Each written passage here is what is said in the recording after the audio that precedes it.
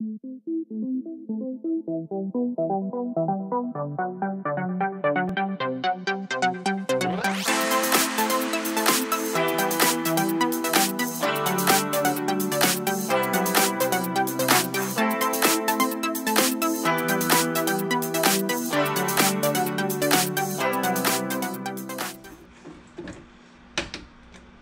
was at this moment that he knew. Wow.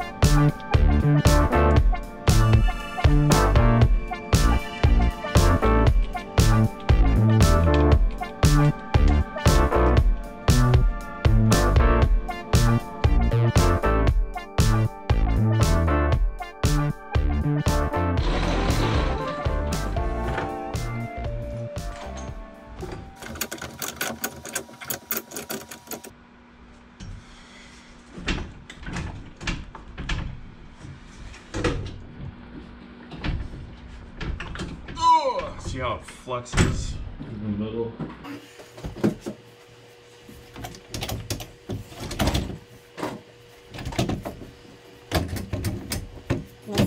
Impossible to lift off vertically. Especially by yourself.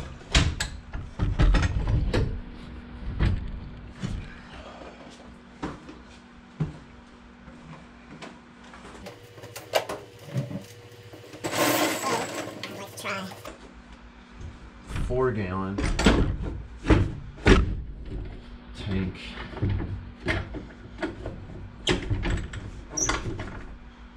Should be easier to lift off because it's straight.